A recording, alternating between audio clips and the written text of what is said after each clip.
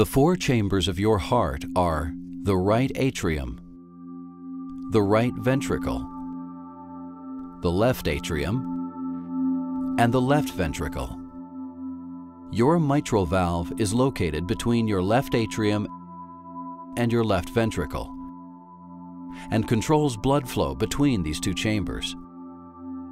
Oxygen-rich blood returning from your lungs moves into the left atrium of your heart, then through the mitral valve into your left ventricle.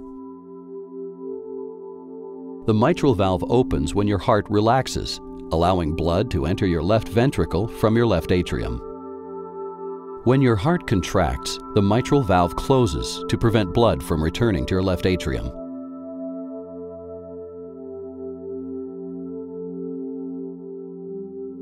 The mitral valve has an anterior leaflet and a posterior leaflet and is surrounded by a fibrous ring of tissue called the annulus that maintains the shape of the valve, which is important to ensure that the leaflets close completely.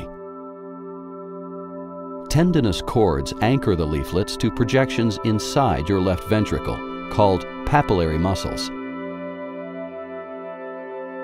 If you have degenerative valve disease, your posterior mitral leaflet enlarges and projects or prolapses into the left atrium.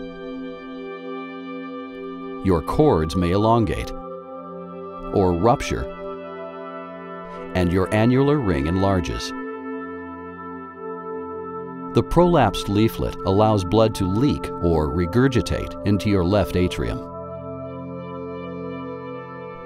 There are various surgical approaches to repair the mitral valve. Your surgeon may begin your procedure by making an incision over the length of your breastbone or sternum, or by making a minimally invasive incision in your right chest wall.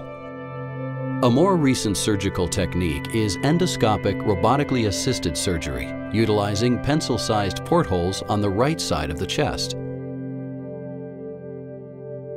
You will be placed on a heart-lung machine which takes over the functions of those organs. During the procedure, your surgeon will remove the extra tissue from the leaflet, then close the leaflet edges with sutures. Your surgeon will also reshape the mitral valve border using an annuloplasty ring to ensure the valve leaflets close completely. If you have degenerative mitral valve disease affecting the anterior leaflet, it may also enlarge and prolapse. As with a prolapsed posterior leaflet, your cords on the anterior leaflet elongate or rupture, and your annular ring enlarges.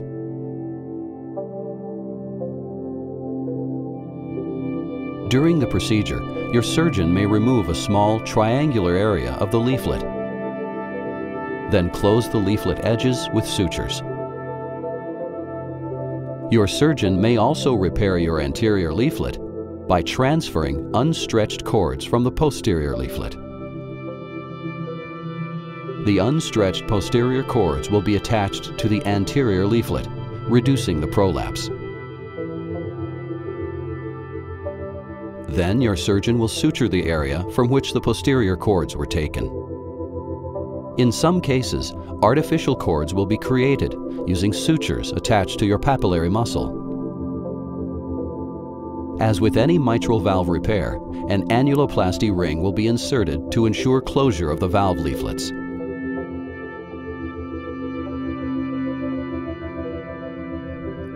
If you have functional mitral regurgitation, your mitral valve is normal. However, other heart conditions may have dilated your annulus. As a result, the edges of your valve leaflets no longer meet and left ventricular blood regurgitates backward into your left atrium.